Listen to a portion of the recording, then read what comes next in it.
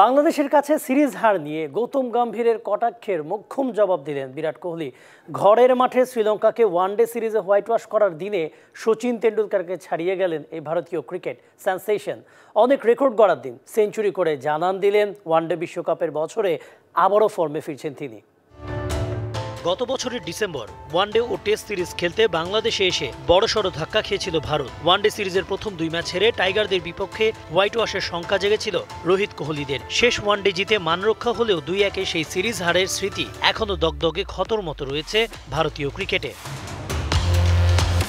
শ্রীলঙ্কার বিপক্ষে প্রথম ওয়ানডেতে কোহলির সেঞ্চুরির পর দেশটির সাবেক ক্রিকেটার গৌতম গম্ভীর বলেই দিয়েছিলেন, সেঞ্চুরি নয়, গুরুত্ব দিতে হবে দলীয় পারফরমেন্সের দিকে। ভুলে গেলে চলবে না, বাংলাদেশের বিপক্ষে কি হয়েছে? টিভিতে কিংবা সোশ্যাল মিডিয়ায় কোহলির সবচেয়ে বড় সমালোচক বলা হয় গম্ভীরকে। ভারতীয় ক্রিকেটের পোস্টার বয়ের সমালোচনা করতে কখনোই কার্পণ্য করেননি গম্ভীর, কিন্তু সে গম্ভীরের বাংলাদেশের কাছে সিরিজ হার নিয়ে করা কটাক্ষের মোক্ষম জবাবটা মাঠেই দিলেন কোহলি। শ্রীলঙ্কাকে ওয়ানডে সিরিজে হোয়াইট ওয়াশ করার দিনে একশো দশ বলে একশো ছেষট্টি রানের ঝড়ো ইনিংস খেলেন কোহলি। গত চার ম্যাচে এই নিয়ে তৃতীয় সেঞ্চুরি করা মানুষটা আবারও প্রত্যাবর্তনের হুঙ্কার দিচ্ছেন।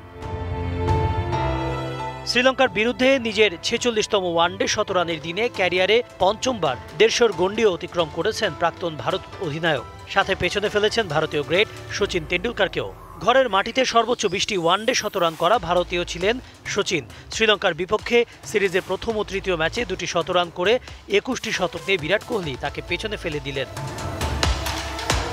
শুধু তাই নয়, ওয়ানডে ফরম্যাটে সর্বোচ্চ রান সংগ্রাহকের তালিকায় সেরা পাঁচে উঠে এসেছেন কোহলি। বারো হাজার সাতশো চুয়ান্ন রানের মালিক কোহলির সামনে আছেন সচিন তেন্ডুলকার, কুমার সাঙ্গাকারা, রিকি পন্টিং ও সনাথ জয়সুরিয়া। কোনো নির্দিষ্ট প্রতিপক্ষের বিরুদ্ধে সর্বোচ্চ দশটি সেঞ্চুরি করা একমাত্র ক্রিকেটারও কোহলি। বাংলাদেশের বিপক্ষে ওয়ানডে সিরিজ হারের পর ছন্দ ছাড়া ভারতকে টেনে তোলার মিশনে নেমেছেন বিরাট কোহলি। লক্ষ্যটা ঘরের মাটিতে, ওয়ানডে বিশ্বকাপ। সমর্থকদের চাওয়া একটাই আবার না শ্রীলঙ্কা সিরিজের পর থেমে যায় কোহলির bat. Kanak Mahmud, DBC news desk.